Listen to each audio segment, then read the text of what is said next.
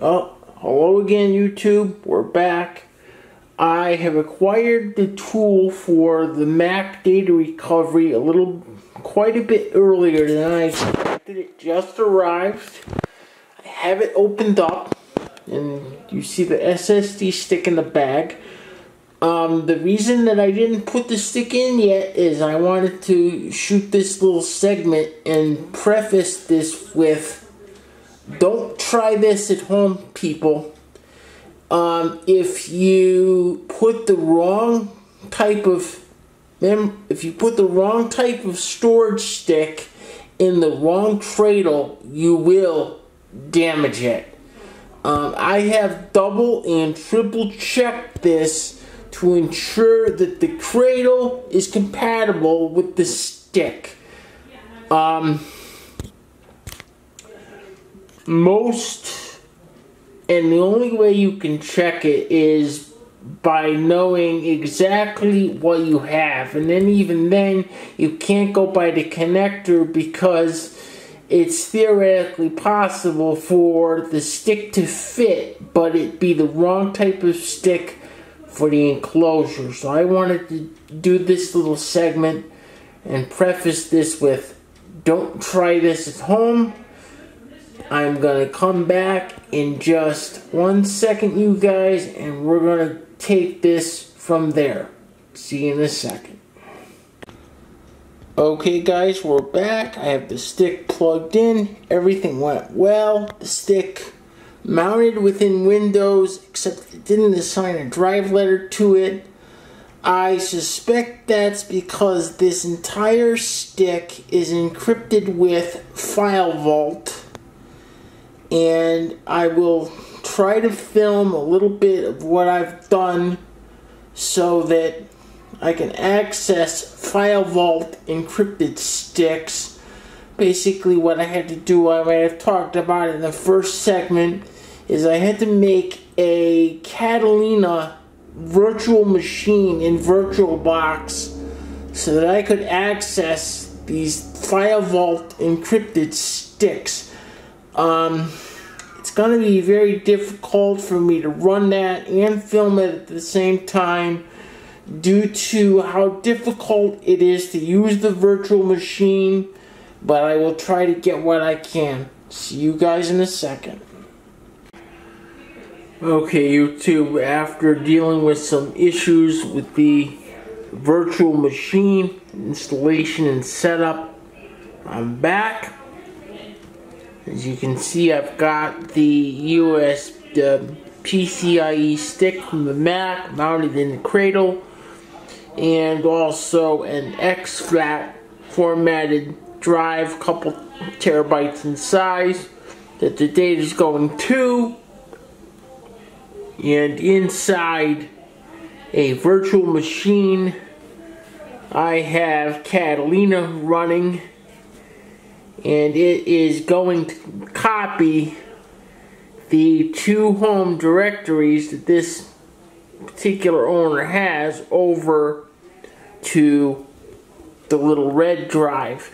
Um, I do expect that this is going to take a while, probably all night, because getting these things to work in VM is quite a bit slower than getting them to work normally.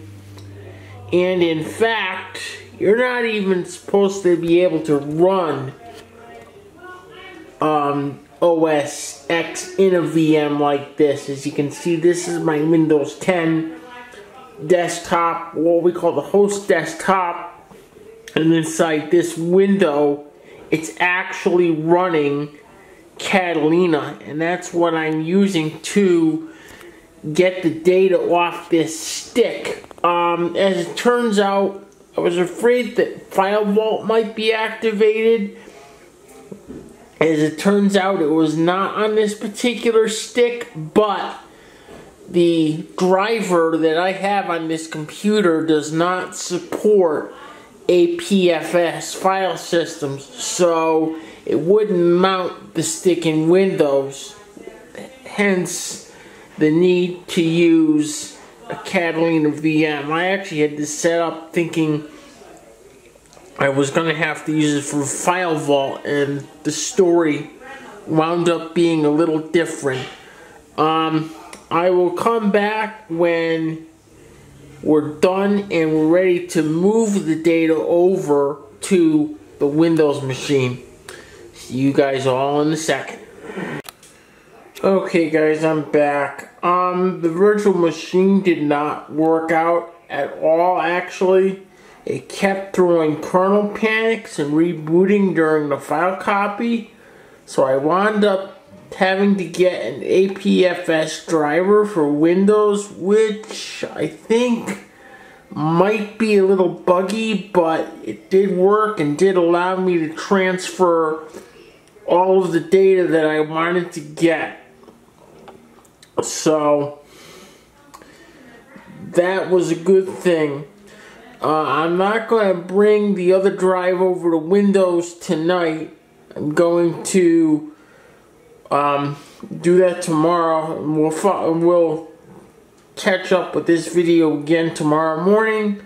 But I just wanted to let everybody know what happened with the virtual machine. Um, I'll see you guys in just a second. See you tomorrow morning.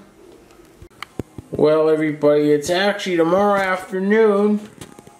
And I don't know if you can see, but by the old desktop files icon that's on the machine, I brought the wind the this drive over to the machine last night and copied over some of the data. I'm to finish copying the rest of it over and then that will be the end of the data recovery portion of this job. I just wanted to finish this video off and let everybody know what happened. Um, I don't know if I mentioned it before, but the reason I used this little red portable drive, this drive is formatted with the exFAT file system, which both Windows and Mac can read and write to. Um, some of you may have seen this orange drive right over here. This drive is formatted in NTFS, which Macintoshes cannot write to without modification and I didn't want to have to keep reformatting it and playing with it all the time for different jobs. So I got this little red drive for Apple work and Apple the Windows data translation that works great. Um, that'll be the end of this video. As always, feel free to rate, comment, like, and subscribe.